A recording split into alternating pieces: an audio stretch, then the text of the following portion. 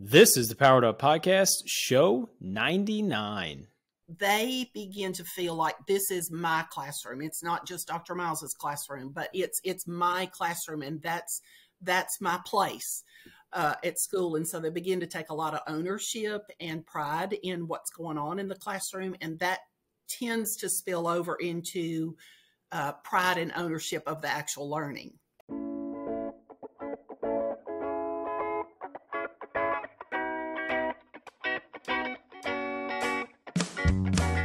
Welcome to a real world education with insight and advice from teachers in the game, where current and former educators reveal what truly sets apart the great teachers and what it takes to make a positive impact on students. Whether you're in pre service learning, new to the game, or a seasoned veteran, this is the show for you.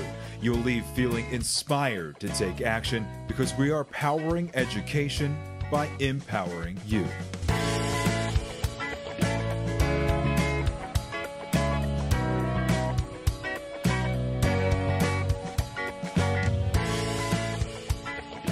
Hey, what's going on, everyone? This is Ken Herman, host of the Powered Up Podcast, and I am here with my co host, Mr. Matt. You have the power to decide, Rogers. Matt, got a new background. It's it's looking beautiful. Thank you, Kristen. Thank you very much. I'll have to point this out. You know, so my wife took, you know, 99 some episodes of checking our, you know, videos and she's like, "You should really change this background. You should really change this background. You know, you really need to add stuff to it." So, what did we do this weekend? We went, we bought all sorts of things that I don't know if we really needed, but while we were out, we got a few things to add to the back wall. So, hopefully, it looks a little bit nicer. Um, but you know, it took long enough. We've been we've been doing this podcast a long time now, um, but tonight kind of was a great, you know, last in the the zero through ninety nine realm podcast uh, number for sure. So. Yeah, I had I had an absolute blast tonight. I thought our guest was phenomenal. It was a conversation that you know is line is in line with my own personal passions, but I felt like it was a conversation that is beneficial to to teachers K twelve. Um, I think we had a little bit more of an elementary focus in our remarks, just because all three of us were elementary teachers. But the topic of choice and decision making in your classroom and and putting that on, onto the student's shoulders and responsibilities is obviously applicable to any grade level that you teach. Um, it was, I, I, just think it was really rich, and we really niched down and and hyper focused on that idea. But you know, it's kind of like when we think about our classroom: do you want to skim the surface across every unit, or do you want to do you want to dive deep and make sure the students thoroughly understand a, a topic or idea? And I think we did that tonight. I totally agree. And Ken, I know we got off the the conversation and kind of felt like you know this was almost like a traditional uh, podcast for us, while also almost sounding like our summer series where we really zoned in on a specific topic and, and answered some questions. It was nice to to have both of your feedback and um, you know what I think was really neat about it is Dr. Miles kind of talks from one perspective that is distinctly different, even though it's in the same, you know, general topic as yours. That spectrum can be wide, even if you feel like, you know, student centered learning or PBL is a niche thing or, you know, a, a narrow, only a few teachers take it on. There can be many interpretations of it. Yeah, absolutely. And and I, I think that she provided great ideas, great specific examples um, and a lot a lot of good back and forth where we had similar goals, but our, our process and, and the way that we operated our classroom was a, was a little bit different. So let's not delay any further. Let's hear from Teach Better Network, and then let's jump right into that interview with Nancy Miles. This podcast is a proud member of the Teach Better Podcast Network. Better today, better tomorrow, and the podcast to get you there. You can find out more at teachbetter.com slash podcast. Now let's get back to the episode. Hi, Nancy. Welcome to the Powered Up Podcast. How you doing tonight? Hey, I'm doing great. Glad to be here. Absolutely. So I'm really excited to jump into this conversation. So Nancy and I were chatting before we recorded here, and I knew she was recommended uh, by a former guest. I was I was I was struggling to recollect who it was, but it was Morgan Rankin who we had on. Uh, I recorded with her over the summer. Matt, I actually think that was one of our very few conversations that you missed out on.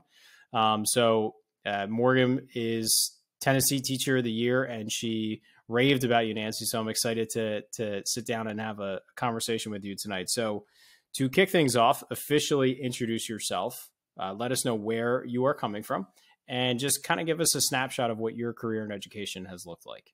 Okay. This will be my elevator talk. so, uh, uh, education is actually my second career. I have a degree uh, from LSU in marketing, and I spent some time in the business world. And then I had a couple, uh, my two children, and decided to go into education. So I, because I loved volunteering in the classroom, so I went back and got my master's.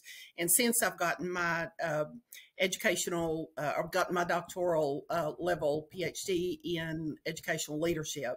So once I jumped into education, I started, uh, I've always been in elementary school. I started in uh, here in Johnson City, Tennessee, in a multi age class, and that was kindergarten, first, and second grade kids. And it was fabulous because it truly taught me that children come into school at all different levels. I would have kindergartners come in who were reading, and I might have a second grader who still couldn't read but a handful of words.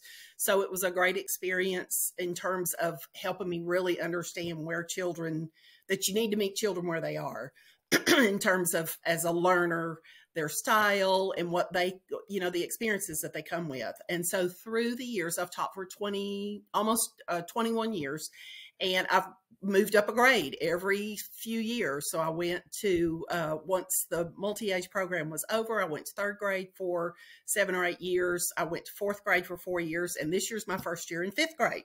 So I just keep getting promoted up through the elementary. And our schools in uh, Johnson City are K through five, pre K through five. So I've made my way up through the elementary level. Yeah, that's that's funny. Um, so I, I started as a fifth grade teacher for a bulk of my career, and now I'm a secondary instructional coach. So whenever I run into students, I, I've been doing it for a few years now, so this happens less. But when I first started, and they were seeing me in the high school, you know, it's like, Mr. Herman, what are you doing here? And I would always joke, Oh, I finally graduated fifth grade, and I was able to make it to to middle school and high school. So you're slowly working yeah. towards that elementary graduation.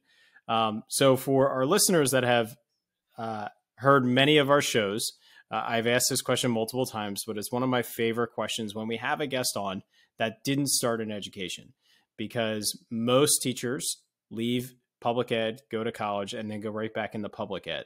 And so, what I'd love to hear from you is what do you think you learned during your time in your career in marketing and just being out in the business world that any and even as a mom during that time before jumping back into education what do you think you learned from those experiences outside of education that have had a direct impact on the way you teach or the way you uh, the way you function your classroom um, a couple of things. One, uh, immediately that comes to mind is relationships. You know, when you're in sales and when you're in marketing, you have a product that probably who you're selling to could get you know, any number of places. And the reason people choose to do business with you is because of the relationship they have either with you personally, uh, through the company, or um, how you relate and how you understand what their needs are and how you fulfill those needs, whether it's through conversation or whether it's actually through product development. And so I think just building those relationships and listening to the needs of the person that you're working with is very important and that you respond to that. And so I've been able to really transfer that into the classroom to listen not only to what the students are saying and what they're showing me they can do, but what they're not doing either. Um, you also have to build relationships with parents because that's your number one uh, team player. You know, they the parents are the first teacher uh, of of their child they you know they're that's their number one priority as well they want their children to succeed i've never ever had a parent that said you know uh, i know my child can't do this. They're always encouraging. They want uh, their child to succeed. Sometimes they don't always know what to do at home. And so you know you build that relationship and help them understand um, how you can work together. So you've got to have those positive relationships. Uh, the other thing is, I think you uh, children need to believe in themselves and uh, take some risk. And that's one thing that I'm really passionate about is that students feel okay in the classroom to be wrong. Um, I spend a lot of time making sure that they understand that it's okay to make a mistake, that we're, you, you know, nobody's going to put them down. They need to be a risk taker in terms of trying something, even though they don't really know what their next steps might be. And so that they just, they feel good about themselves. So, you know, that's just building relationships and feeling safe where you are uh, to, to make mistakes, I think are two big things that I learned. So I think, you know, hearing those, it's interesting. I, I feel like, Ken, we've heard similar uh, responses from teachers that, you know, as you were mentioning, career wise, uh, from beginning to end, as well as what you're sharing, Nancy. And I think um, the the kind of customer type perspective of, of that relationship and that interaction being so dependent on you know the success and in the classroom that is uh, obviously key. I know for me right now i'm spending so much time at this time of year you know reminding kids that you know all of the work we've established throughout the beginning of the year is leading towards you know the weather's getting poorer and you know uh, our attention spans might be a little less because we're excited, at least in the Northeast, towards snow and holidays, these different features. But we're kind of depending on that give and take relationship between you as the facilitator and the kids as well. So, kind of using your spectrum, what were some of the strategies you used similar to younger grades when you first started? To what you are teaching now with the slightly older elementary? And what are some of the major changes between how you interacted and developed those relationships with the youngers and the, the older learners? So, um, building relationships comes in different forms, and just depending on the age group of child, you've got different approaches. So, one of the strategies that have worked uh, just across the board, no matter what age child that uh, I've had in my classroom is just getting to know what they like. You know, whether it's something they like to pack for lunch or something they like to play after school, or is it a game they like to play? You know, some of the fifth graders that I teach right now are still big into Pokemon cards. Uh, they like to uh, play soccer. I want to know who the big soccer players are. So I try to, you know, kind of step into their world and find out, you know, what it is that they get excited about.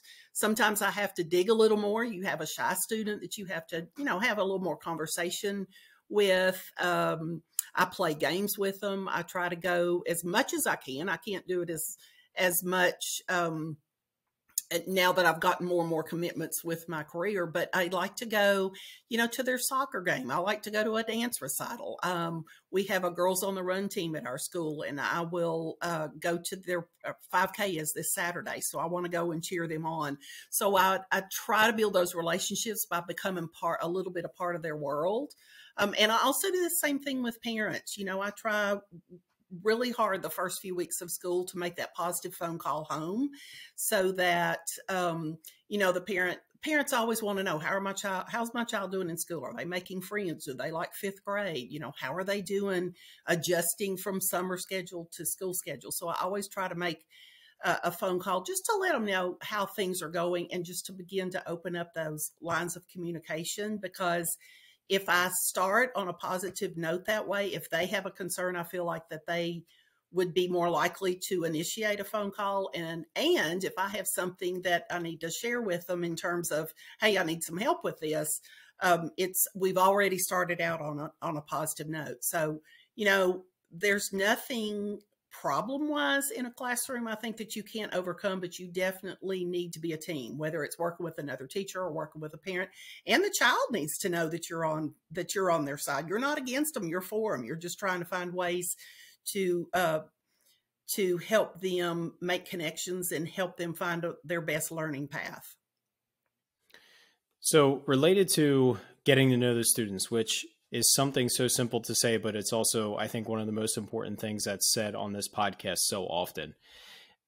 how do you or do you have any tips for new teachers or even veteran teachers on how to make sure you're legitimately doing that with all of your kids? So I can remember a moment, and I've shared this once on the podcast, that I, I will never forget that I was very ashamed to realize my, I think it was my second year. I don't think it was my first year of teaching. I looked at a student in the second week of school and realized I knew their name, but I did not have a personal interaction with that student yet. And it was just something that I felt terrible about. Like, not even just like a one on one good morning. I, I, was very confident that had not happened. And I made sure that that never happened again after the first day of school. But something else that that has stuck with me is I had a student who came back and visited a few years after having me in fifth grade. And we were just kind of talking and, and having a, a pretty open conversation. And she said one of the things that she always appreciated about my classroom is she felt like I was one of the only teachers she ever had that didn't have any favorites. And I, I felt like that spoke that that really hit me because it made me feel good that other students or my students were recognizing that I was making an effort to get to know all of them in different ways, but I was getting I was making an effort to get to know all of them. So do you have any tips for our teachers as you're making efforts to form these positive relationships? In the back of your mind, you know, I'm doing this with all of my kids, not just the ones that are willing to share because they're outgoing extroverts, but how are you making sure that you are connecting with every student in your classroom in, in a positive and meaningful way? Well, uh, you know, the biggest thing is time. And that's that comment that you made about that student said, I, I didn't feel like you had favorites. That tells me that you made sure that you spent some kind some kind of quality time. It doesn't have to be a long time either, but you know, making eye contact, talking directly to to a child, you know, asking asking them, you know, how did the soccer game go, go last night? Or, hey, I hear your little sister's been been sick. You know, how are you feeling?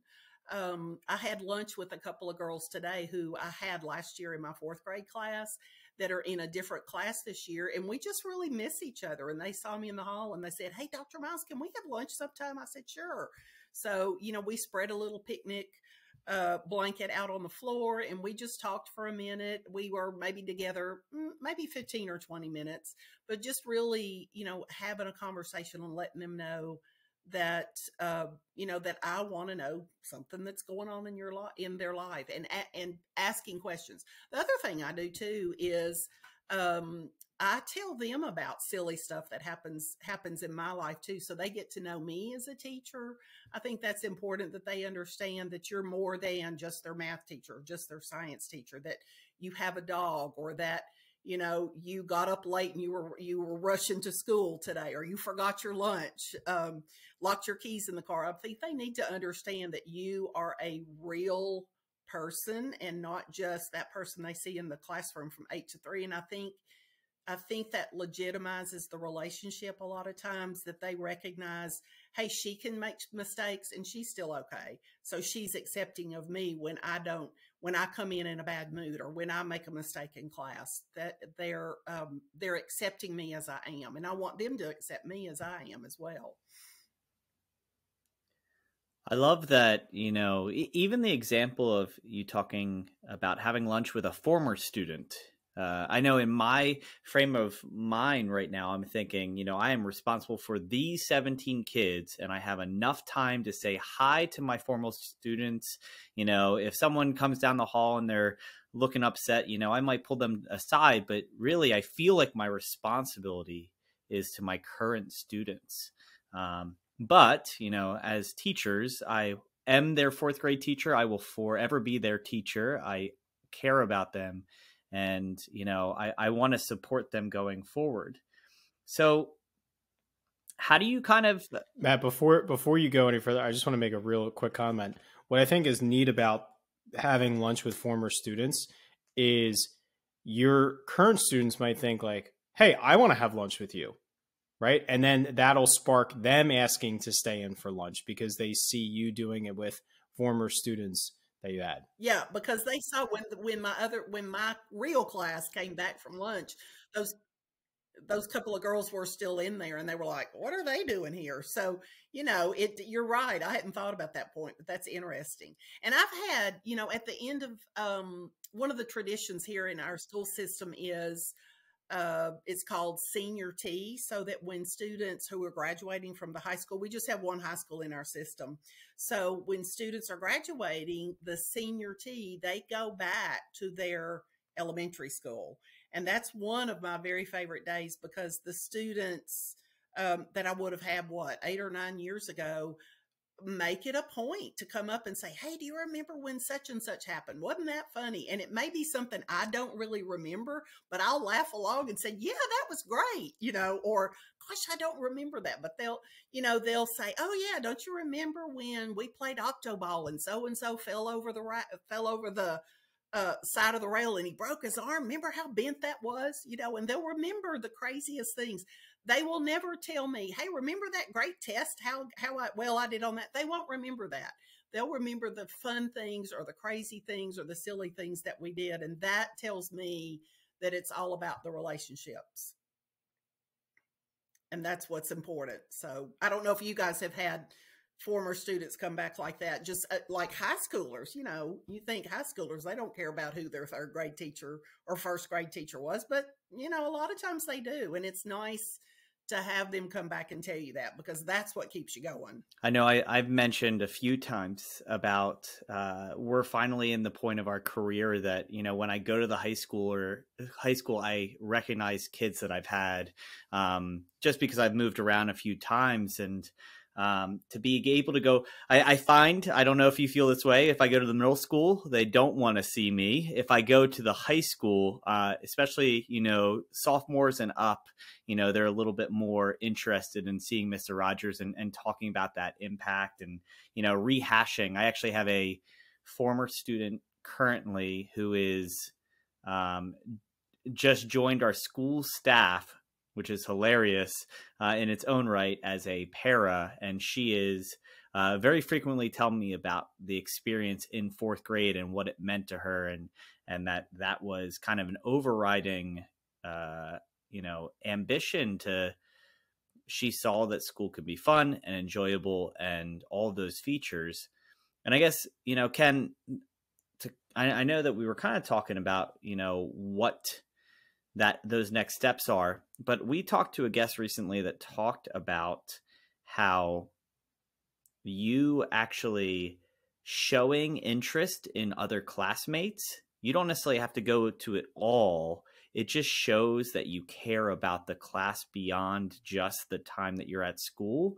So, you know, Nancy and, and Ken, you know, I find that interesting. The thing I was going to point up is how do you balance, you know, the the needs of former students wanting your attention, you know, current students wanting your attention, um, while also leaning into knowing that you know if you do some, it still portrays that message that you care. What happens? So um, yeah, I mean, you're you're you're a teacher, uh, and I, and I know you guys probably feel this way too. You are a teacher, whether you're in the school building or not but you can't live your whole life 24 7 as a teacher with those kids because you've got your own responsibility in your own family. So, you know, a lot of times I'll just help build those relationships by, you know, letting somebody in my classroom lead part of the lesson, uh, letting someone take responsibility for, um, some of the initial activities that we do at the beginning of the classroom. For instance, uh, now that I'm in fifth grade and, you know, the kids are a little bit more responsible, they run our class meeting at the very beginning of the classroom. We spend probably not more than 10 or 12 minutes, uh, definitely not 15 because we're getting ready and we switch classes within about 20 minutes after we're there. But um, we talked about at the very beginning of the school year, you know, what are the kinds of things we need to do at the beginning of school? What does what does our classroom need to look like? So, you know, we need to take attendance. We need to do lunch count. We want to talk about how things are going. You know, hey, let's brag on somebody that did made a good choice yesterday or was really kind to a friend or you know hey we're having a having a problem getting our uh, materials organized or i noticed that somebody wasn't really kind to another person the other day so we we have that class meeting. We call it a restorative circle where we talk about, you know, what's going good in the classroom, what's not. You know, we'll take polls. Like I know for sure our poll tomorrow is what do you like better, Pals or McDonald's? Well, Pals is like a regional uh, hamburger place here and the children come up with that. We have a, a, one girl who runs that class meeting. She comes up with the polls. You know what are we going to ask each wednesday? We do polls like that on wednesdays. She um she has designated a couple of kids to come up with a joke of the day so kids are responsible for doing that. She has asked several oh she has asked one to come up with um, you know how there's always a holiday like National Pickle Day or National Hot Chocolate Day. So she has uh, assigned somebody to find out what that is. So they all, you know, have some kind of responsibility, and then we switch every once in a while who that classroom manager is. So I mean, she really runs runs that meeting. So they you know the other thing that that is nice when you're teaching older children and younger children could do some of that but they they begin to feel like this is my classroom. It's not just Dr. Miles's classroom, but it's it's my classroom, and that's that's my place uh, at school. And so they begin to take a lot of ownership and pride in what's going on in the classroom, and that tends to spill over into uh, pride and ownership of the actual learning.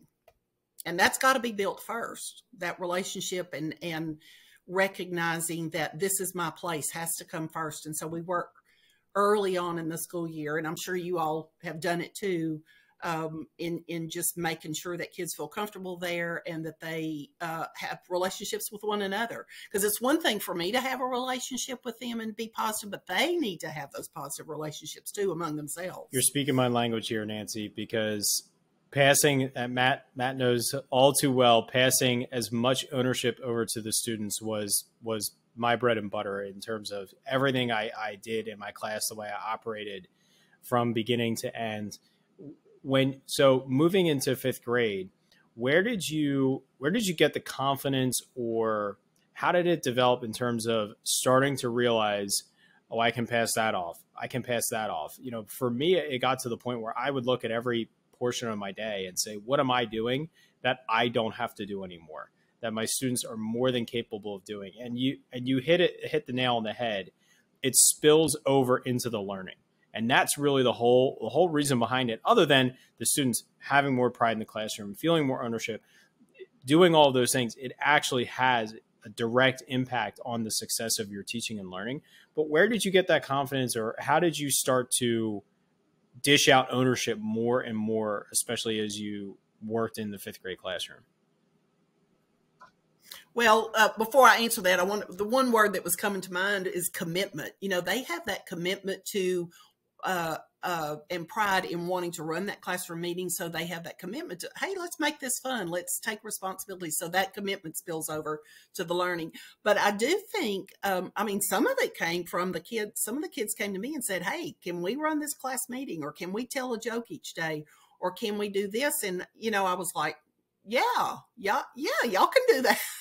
Um, and so, you know, we talked a little bit about what their ideas were, and they got more excited when they realized that I was going to, you know, yeah, y'all go and run with it. So, you know, it wasn't always my idea to do it. It was them recognizing, hey, this is something we kind of want to do. Let's ask and find out. And as much as I can, I try to say yes, you know, within reason. You know, we can't just knock off and not have school all day long for all week. But, you know, could we take a quick little break? Could we do recess at a different time of day? Why not? You know? So I try to give them some leeway and help them feel feel responsible and have a little bit of um, uh, power. I try to empower them as much as I can. It also kind of allows you to turn your attention, you know, to a slightly different direction. You know, obviously there are and Ken, you can you've spoken about it a ton and it is a pursuit, Nancy, for me to get to a more student-centered, uh, you know, commitment being your keyword. I am trying to work my way to being committed uh, to to have these attributes. It's not necessarily how my classroom naturally runs right now.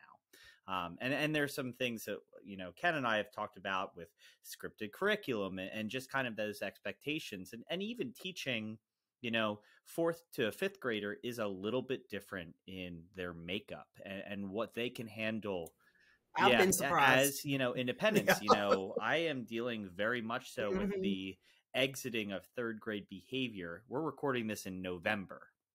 And I walk by my classroom and, you know, I walk past the third grade classrooms and I see lots of similarities. And I look down the hall to the fifth graders and they don't look like the same student. It doesn't look like a year's gap.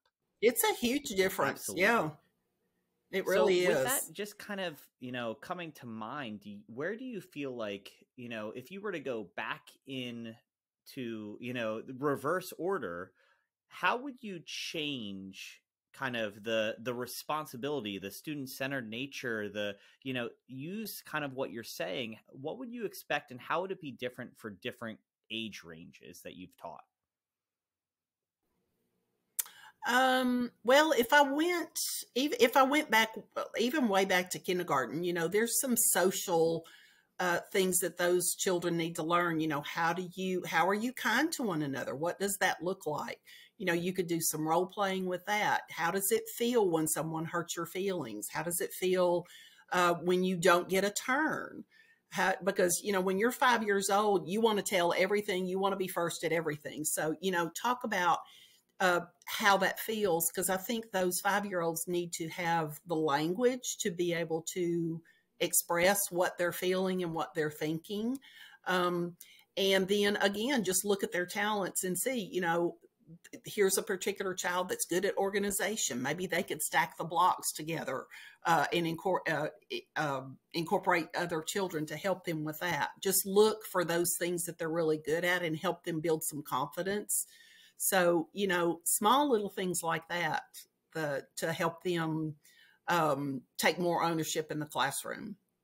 I think is helpful. It I'd have to think I'd have to turn my mind back because it's been a while since I've taught a five year old. But you know, when you're as much leeway as you can give them for being responsible for their own materials or uh, even putting things away in the classroom or taking turns, I think is uh, sets the groundwork. And, and I would also add to that, you know, I, it's really hard when you're a grade level teacher to identify what normal behavior is for that grade level. And I think that's something I know um, Responsive Classroom has a book series called Milestones that talks about, you know, uh, the, the, kind of development and what you can expect of kids in each grade level. And I love every year before I have the kids come in, I read the expectations of nine year olds and 10 year olds. You know, where do we have to transition of, you know, one of the things that I, that sticks out in my mind is a 10 year old loves to loves advocacy. They they don't have any clue what to be an advocate for, but they want to be an advocate. So you can kind of tap into that. And Ken, I'm sure you see that, you know, with fifth graders, you know, they want advocacy and they want to have an opinion and they want to do good genuinely. They don't necessarily know the direction. That's where you kind of step in and you provide that guidance. But I love that. And I think it's really hard for, you know, this is a new teacher what is normal, what is expected. It could be a seasoned pro that's never taught a grade level before, because at least I don't. I'm sure you've heard it. You know, these kid, these kids these days. You know, we always get this kind of comment like these kids are acting way different than kids long ago. There are different features by all means, but um, I, I think that's an overgeneralization of you know they're still developmentally very similar. They still, you know, enjoy very much the those same type things, which again is good for us to remember. I agree. Well, and, Yes, and, and to that point, Matt, even if it's not someone teaching a new grade level, it could be someone that's been teaching a grade level for a long, long time, and you kind of lose sight of what are these students actually capable of. If you're not relinquishing control, you're just operating under the assumption that they are not capable of doing that.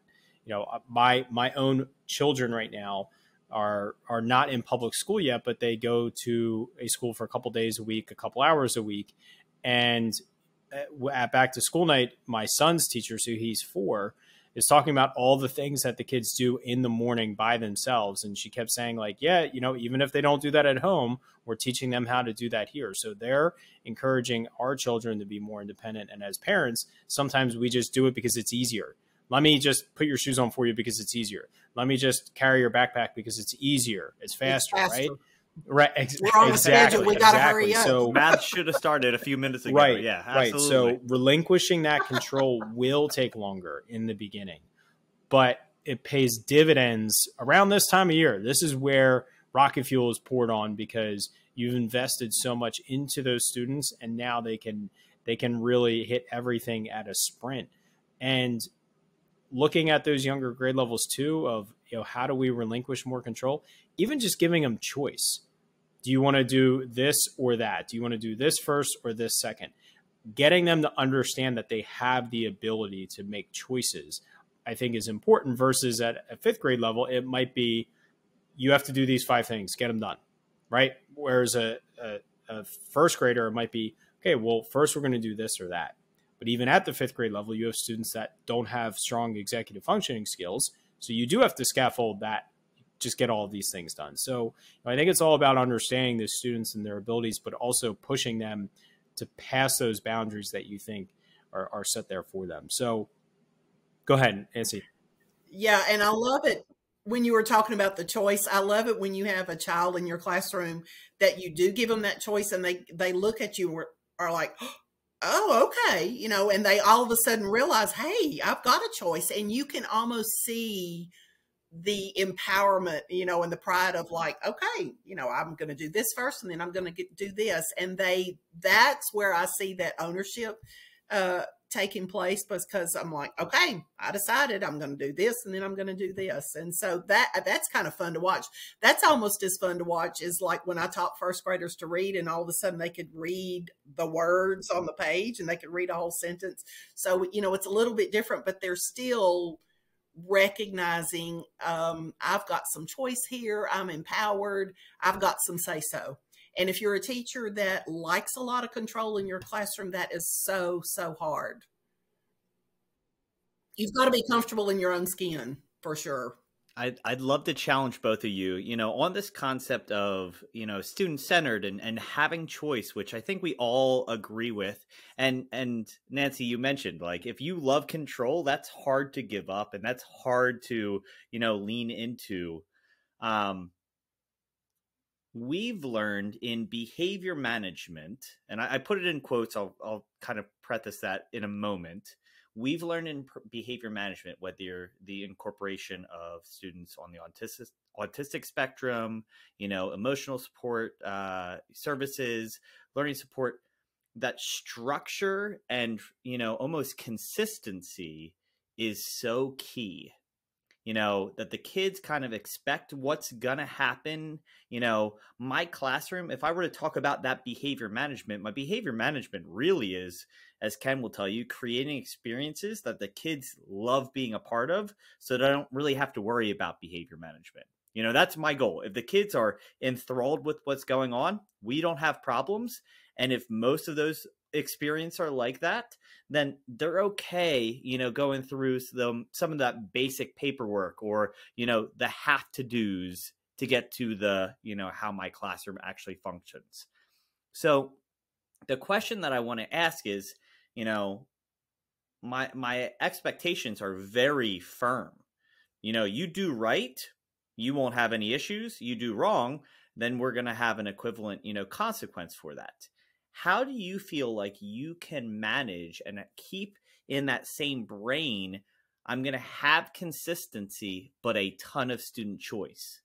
You know i'm going to have a ton of control on you know if things are structured you know behaviorally but i'm also going to kind of have freedom and flexibility when it comes to the instruction side. I can see that being a little bit challenging as you you know push into that realm Oh, it is. Yeah. Yeah, you've got to balance it. I mean, you you've got to have one of the big things structure wise in my in our classroom is, you know, our routine is the same. You come in, you put your materials up, you know, you're expected to get ready for the day and we have our class meeting. You know, within the class meeting, there's some choice of what the discussion is going to be about that day or who contributes within say within a content area. So for instance in science that i was teaching today you know there's an expectation that you're going to have your journal. We're going to document some things that we're doing in our experiment but we're going to have some class discussions and we're going to have some choice uh, within the experiment or the exploration itself how that's going to be done. But in terms of the outcomes and what i expect children to produce that is what is more structured. How we go about it sometimes is a little different.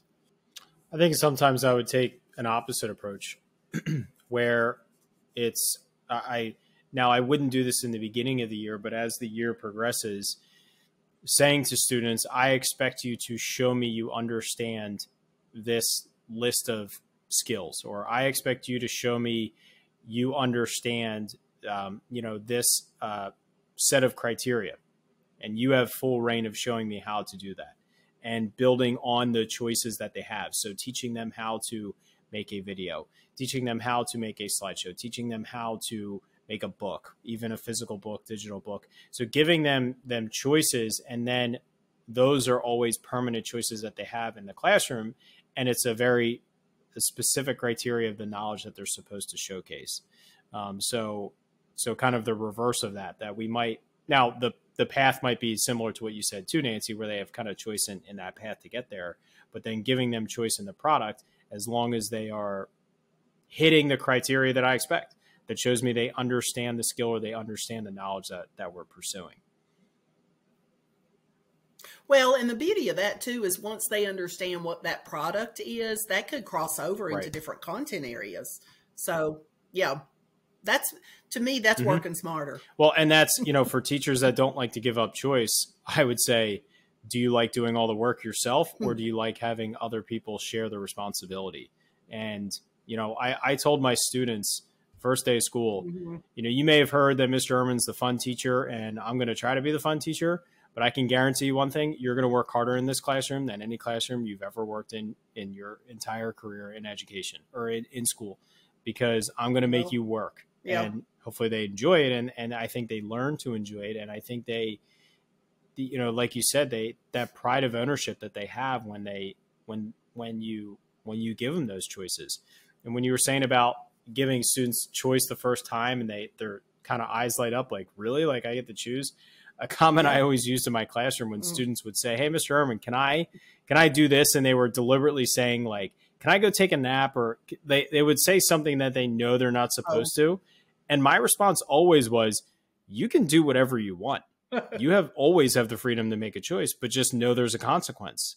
Your choices can have good consequences yeah. or bad consequences, but ultimately mm-hmm. you need to make your own decisions. Mm-hmm. And it would freeze them in their tracks. But when they hear that constantly, they start to learn that they are making decisions and they are making mm-hmm. choices mm-hmm. in the classroom and in their lives, and that it does have an impact. And ultimately, they do have the ability to always make that decision whether they listen to the teacher or not, or whether they do the work they're supposed to, or what type of project they want to do. And and when you I'm getting really amped up here because this is like one of my favorite things to talk about. When you start to give them the freedom to choose and you start to empower them to choose, then you can really challenge them on the choices they make. So, with what I just said about mm. choose the product you want, I would then you know, especially like the last third of the year, you need to tell me why you chose the pro the product you chose, and it can't be because you like to write. It can't be because you like to make videos. You need to say, I chose this for this project because I think it will be the best product because. So then it was not choose what you're comfortable with, choose what makes the most sense for what we're doing and learning.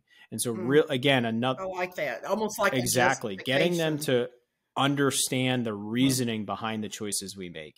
And it might not be the best choice, or mm-hmm. it they still might choose the one that they like, but come up with like a reason that that works, and that's fine. But it, it's not about the decision they make; it's about the experience of making decisions and learning how to make decisions and the impact and the reasoning and you know making choices is one of our most valuable skills as as adults. You know, do we know how to make good decisions? Oh, yeah. And we don't allow our kids to learn that in a safe environment like school. Hmm.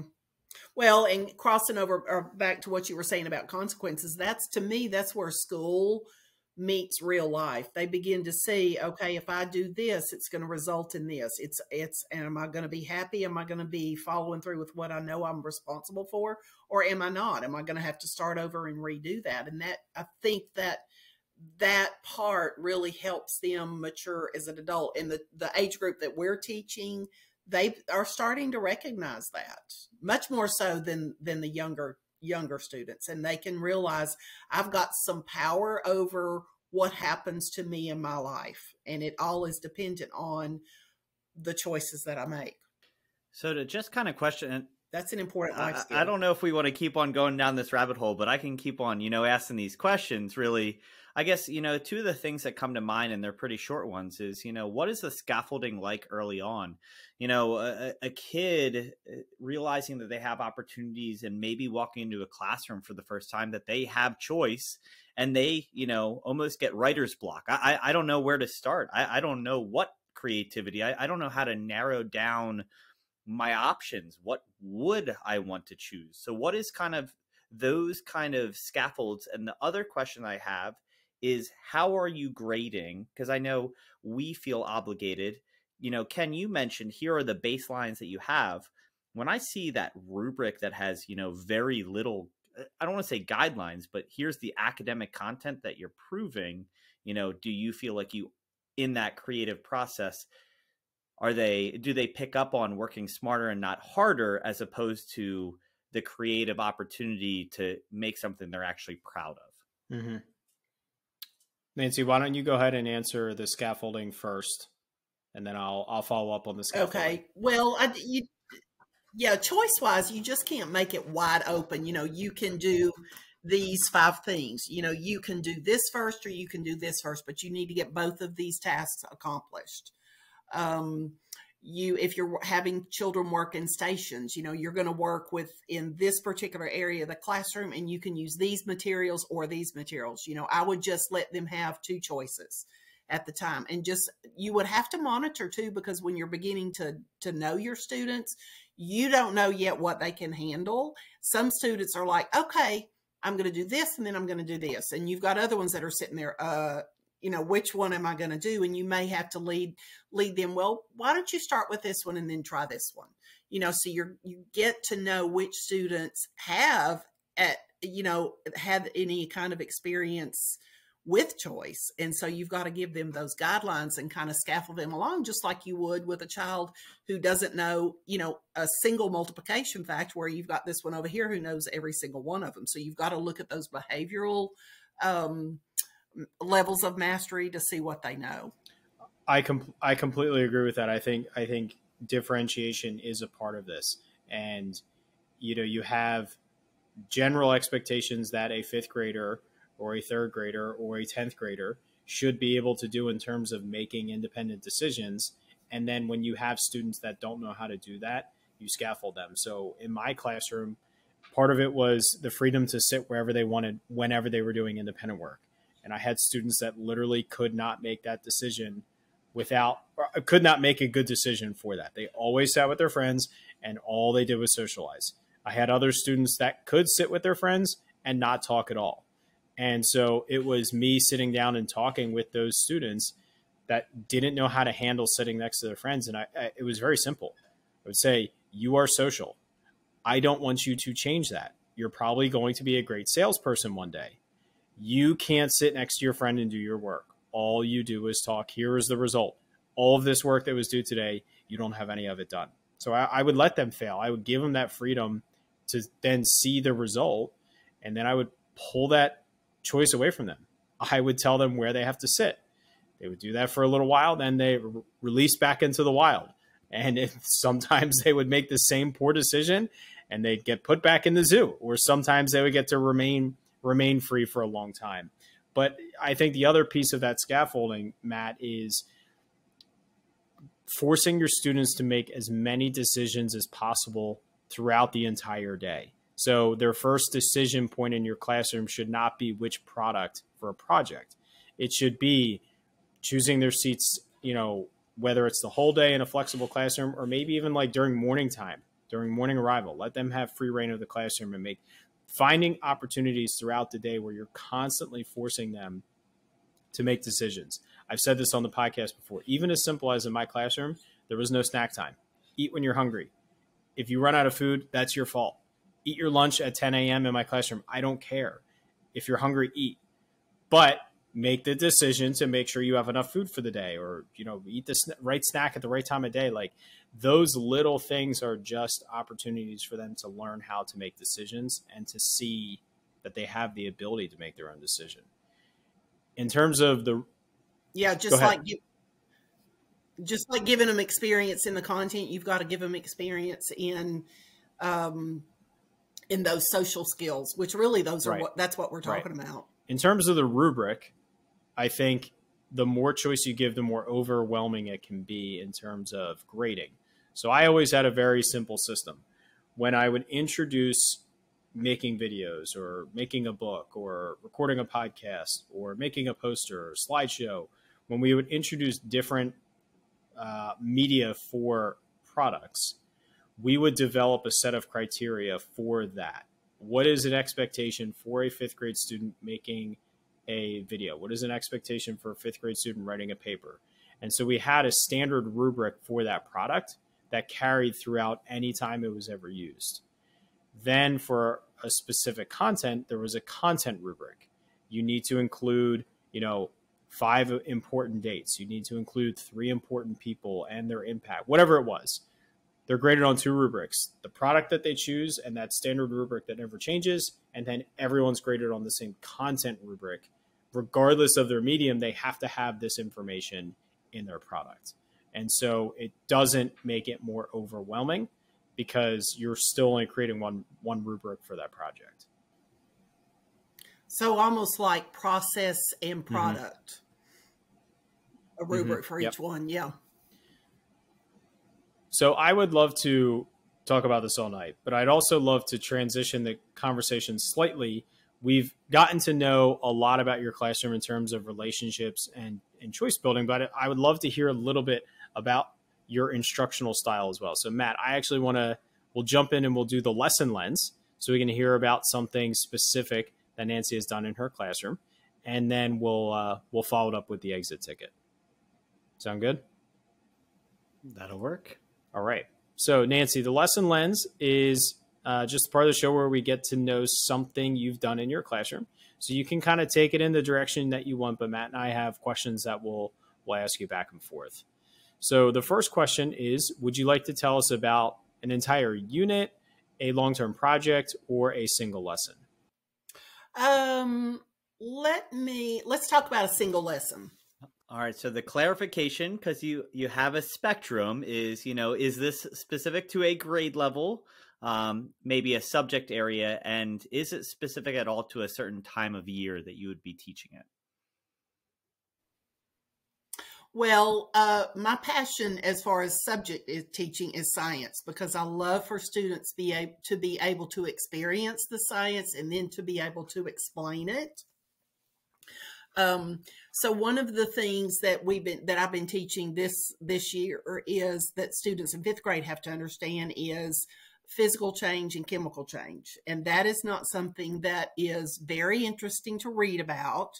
You uh, and it's you know it's pretty abstract if they haven't had a lot of experience in in talking about that in school. So we've been doing a lot of cooking uh, in the classroom. I had a hot plate that I brought in uh, earlier, or actually, I guess it was last week, and we just boiled water and we talked about, you know, what's the steam coming out. We used a centigrade thermometer. You know, most of them had never even seen a thermometer uh, with centigrade, so we talked about what that was. We took the temperature of the classroom, looked at the thermometer. We put the, the thermometer in the boiling water, and they recorded it. Another thing that was part of that lesson is this big uh, topic called conservation of matter, which I'll be honest, when I first got into fifth grade, I had to go and study what that actually was and what it looked like. And so, you know, just a simple thing of getting a Ziploc bag, taking it with your partner to the sink, filling it with 50 millimeters of water, zipping it up, measuring it on the gram scales. Oh, it weighs 57 grams. So we talked about you know, that gave me an opportunity to talk about what matter actually was and the different forms of it. We took it down the hallway to the teacher's lounge. We put those little Ziploc bags in the freezer and we talked about, hey, it's going to be, you know, ice tomorrow. Is there going to be more mass? Yeah, ice expands. Okay, you know, so it's going to be more than 57 grams tomorrow, you think? Yes. So they were making some you know, they were making observations, they were making predictions, creating that hypothesis. And lo and behold, when we went down uh, today and got that Ziploc bag and brought it back and waited on the gram scale, it was still the same. And they were like, how come it's still 57 grams? Because we know ice expands. You know, my daddy puts a Coke in the freezer and it bursts and it's, it's because it got, you know, it expanded. So we talked about that gave us that opening uh, to talk about, you know, we can't destroy matter, we can't create matter. Matter is the same, whether it's a solid, a liquid, or a gas. And just to talk about that is to me goes over your head and it's hard to recognize that abstract. So i really like to do anytime i can do it is do do something hands-on so they can really see and explain it and understand it themselves uh, because they'll re- they'll remember that. Another thing that we did in the same kind of lesson was we, with my little hot plate, we had a um, beaker that I had put some vinegar in, and we had put a balloon on top, or had some baking soda in the balloon, and they saw the balloon expand, and so they were able to explain, oh, you know, the baking soda is creating that chemical change, and what's coming in the balloon is the actual carbon dioxide that normally would go out in the room and we couldn't see. So it's so often I really try, that's just an example of, of that matter lesson of how I really try to get them to experience the science and then come back and explain it because um, I like them to see that phenomenon of what's happening and questioning themselves what is happening, and then go back and I teach them the concepts or the vocabulary, and then they can use that to help explain what they observed earlier. I love it. You hit on uh, a lot of things that I think are important to do in the classroom. That that experience of that phenomena and then teaching, I, I think is is critical to do as often as possible. So I'm going to combine a couple of our questions here because you answered you answered one of them as well.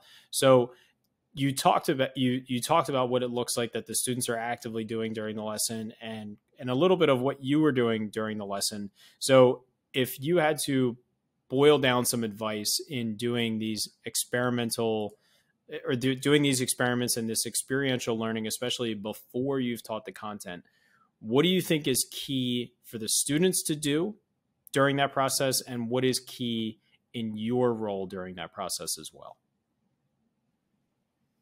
Well, the students, I need to have them in a place in the classroom where they they either have a space to do the uh, to experience it themselves and they have the materials or if i'm doing the demonstration they need to be in a place where they can really see what i'm doing. So if i'm you know i make sure i'm not doing something high on the counter i may sit down on the floor and do it so they can really see um, see the results of of whatever whatever we're doing there so they've got to be able to see that they've got to be able to observe they have their own uh, uh, science notebook that they actually record. They'll draw what happens, they'll label what's happening. Sometimes I'll just stop after they've done some exploration and I'll just say, okay, do a quick write for two minutes, write down what you observed and what you think is happening. And that helps them, you know, get it out of their head onto paper and to really think about what's going on one of the things that I do as a teacher is I make sure that I have my materials there and that I've done those explorations myself so I know some of the pitfalls or I know what could or could happen because we know science isn't an exact, you know, doesn't exactly happen the same all the time. You can make predictions from science, but it doesn't always, you know, turn out like you think it might. And and that's okay too because as scientists I teach them um you learn from every trial that you do. So let's try that again. What did we do different? What would we, um, or did we see anything we did different the second time that we didn't do the first time? So I really like to engage them in a lot of conversation um, and and hone those observation skills. So the last question that we have really is the the the teacher dream. You know, you're, you're profiling a beautiful lab that you know the kids are connecting to they're visualizing they're analyzing you know that's a beautiful thing. If you were to say what would be you know your goal of how you could see that lesson growing even further? Or you know how could you make any adjustments to enhance it even further um, I would like them to come in in the morning and say, Hey, I tried this at home and let me tell you what happened. You know, whether it was cooking in the kitchen, whether it was observing something that they saw outside. Um, maybe they saw some frozen ice in their driveway and they run, you know, in a, a puddle that had uh, had frozen, or maybe they'd seen um, condensation on the windshield of their car. I'd like them to be able to take what we've talked about in the classroom and recognize, hey, I see that happening in the real world. This is real stuff. So it's not just this is science that I'm learning today from 1 to 2:30 in my classroom, but it's a real thing that happens out here in the world. So we'll sit down when they bring in those examples that they've recognized and we'll talk about yeah, what was that that happened? And I want them to explain the science of what they saw at their house or what they saw in their, you know, in their real in their world. So maybe that, that's that maybe that's something that you could incorporate into your morning meeting time too. Yeah. Oh, yeah. Absolutely. Well, and, I, and I think you know, going back and and to kind of circle around this, you know, it sounds like Nancy, what you bring that inquiry through the science lesson is also inquiry that you bring into student you know centered learning and and in general. And with science being your your you know uh heart of teaching you know what you love doing the most it, one of the things it's awesome to see the kids light up and totally connect and and trying to bring those other attributes into the ELA classroom or into that math classroom is definitely a little bit more challenging but it still has a place. So it's trying to figure out how you bring that curiosity and the connection and you know the real world attributes of you know what we're doing and how how it can solve problems i think um, can bring some of the benefits of teaching science to other subject areas yeah, I mean that's the hardest part I do. It's one thing to understand what the what the um, standards are and what what they need to know at the end. It's another thing to know. Okay, how can I bring that to life in the classroom? And that's really where I spend a lot of my time is trying to figure out how can I help them see this or how can I help them experience this? What will bring it to a level where they can actually understand that abstract concept? And uh, but that's fun to me. I mean, it is the hardest part of what I do, but that's the creative part and what I love. Well, I think that that generalization we that that's what we kind of talk about it, right? Like, you know, if we're talking about life cycle of a frog, you know, and you know, the assessment is not about the life cycle cycle of the frog, hopefully they can generalize what they learned from that scenario to whatever is the profile that they're learning about. And I think that's where we sometimes get hung up looking at assessment anchors and standards and those type features. Anytime we can encourage teachers and and create an experience in our classroom where the students discover something first before they hear a vocabulary term is so so important and having a more more of a thorough understanding of why things happen and why these principles are there and not just teaching them this is the rule this is how you solve it this is how you do it. So you know two big things that i i actually did more when i when i was tutoring because these were concepts beyond fifth grade but i did a lot of middle school and high school math tutoring.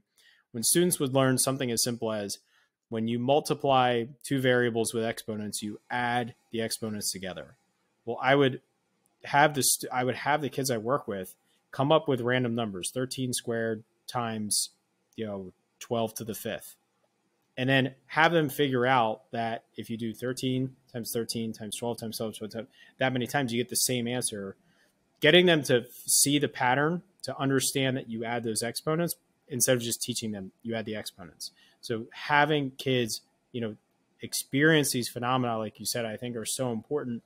You still do all the teaching. You just do that second. Give them the experience first. It's a lot easier for students to connect vocab to a phenomena versus trying to to connect vocab to just a, an example that you're giving them they they haven't experienced.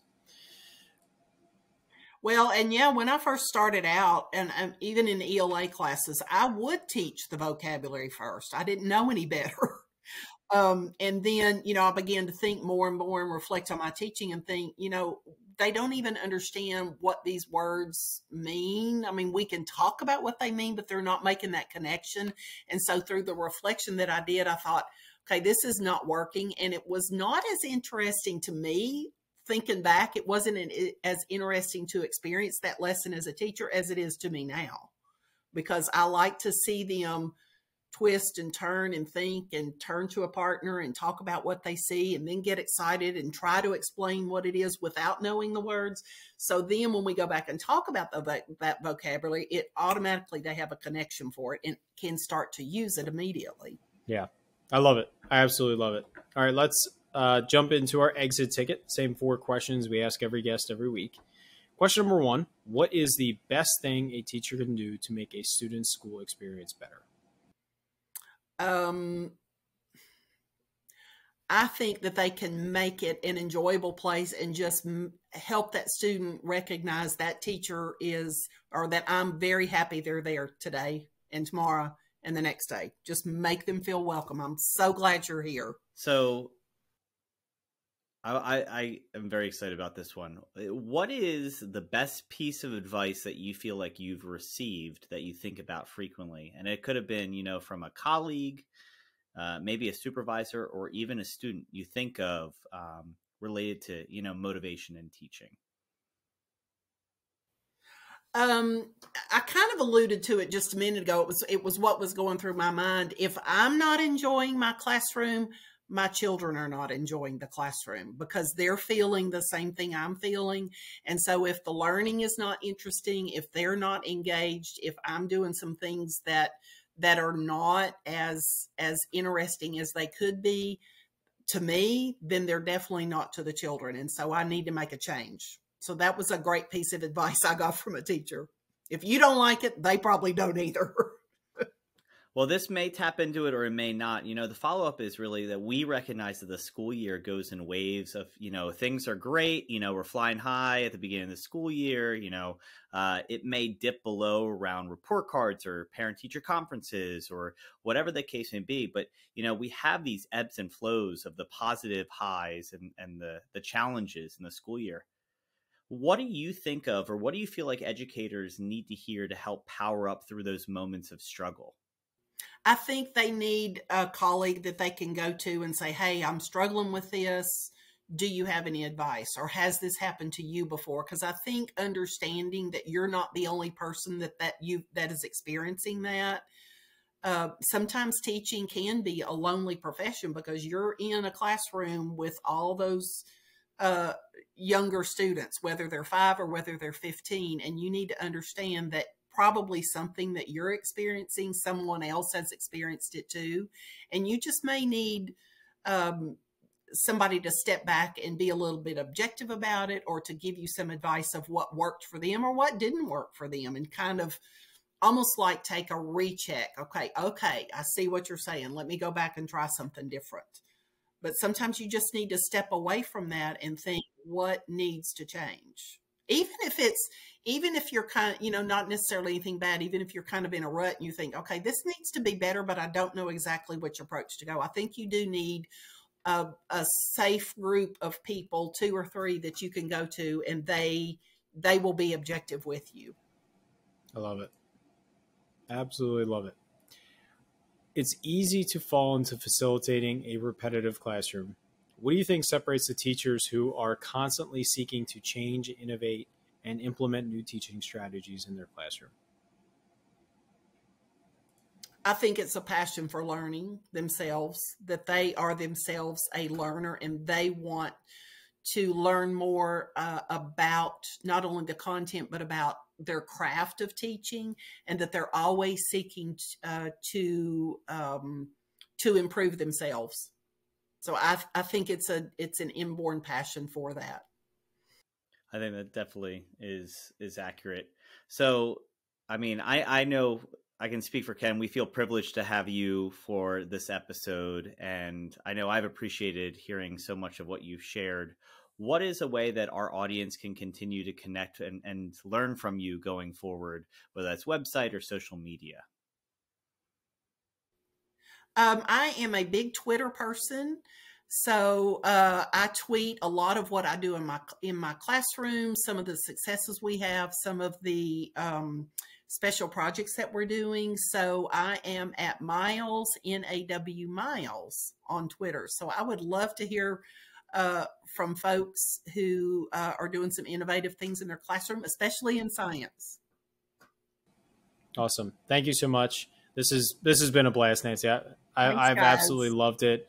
Um, I'm really really glad that Morgan recommended that we uh, we have you come and, and join us. This has been a it's been yeah, a great been conversation.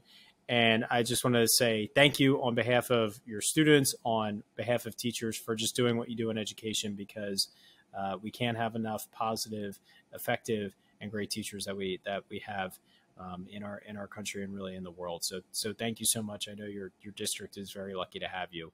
So well, I appreciate it. And uh, I appreciate you guys having this podcast because I think we get so many negatives in the news about teaching. I think it's a great platform for us to be able to share the great things that are going on in education. So thanks for for keeping it going. Thank you very much. Uh, you can follow us on right. social media. Myself at Ken Herman. You can follow Matt at EdTech Neighbor and the show at Power Edu Up. So make sure that you follow along with us on Twitter as well as Nancy. Um, and you can also uh, make sure that you subscribe to this podcast if you have not, so you can continue to hear the amazing guests that we get to talk to each and every week. So, Nancy, thank you again. And Matt, why don't you take us on out of here? It's been a pleasure. Thank you. Bye, guys. As we power down this episode, Nancy left us powered up. We appreciate it, and we'll talk to you next week.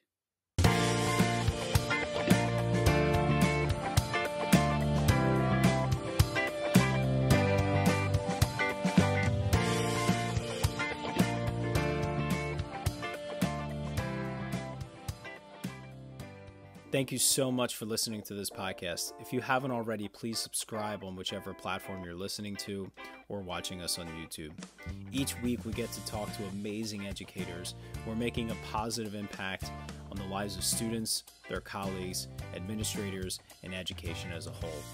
It's been such a privilege every week to be able to talk to these incredible individuals, learn from them, grow with them, and better myself and all of education through these conversations.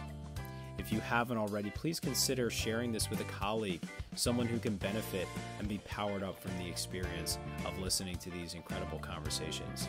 Because of Powered Up, we are powering education by empowering you.